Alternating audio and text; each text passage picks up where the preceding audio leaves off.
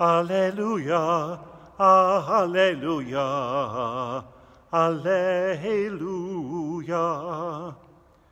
This day was made by the Lord. We rejoice and are glad.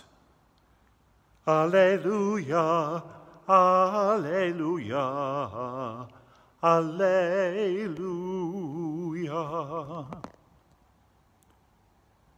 The Lord be with you. Reading from the Holy Gospel according to Luke.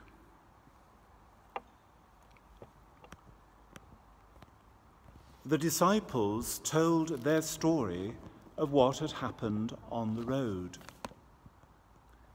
and how they had recognized Jesus at the breaking of bread.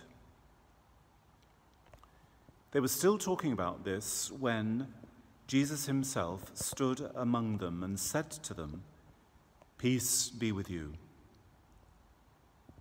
In a state of alarm and fright, they thought they were seeing a ghost. But he said, Why are you so agitated?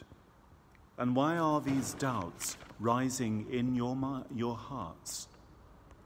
Look at my hands and feet. Yes, it is I indeed. Touch me and see for yourselves. A ghost has no flesh and bones, as you can see I have. And as he said this, he showed them his hands and feet. Their joy was so great that they could still not believe it, and they stood there dumbfounded. So Jesus said to them, Have you anything here to eat? They offered him a piece of grilled fish, which he took and ate before their eyes.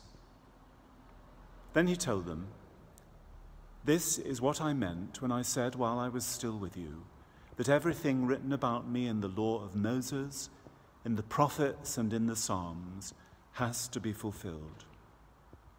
He then opened their minds to understand the scriptures, and he said to them, So you see how it is written that the Christ would suffer and on the third day rise from the dead, and that in his name repentance for the forgiveness of sins would be preached to all the nations, beginning from Jerusalem.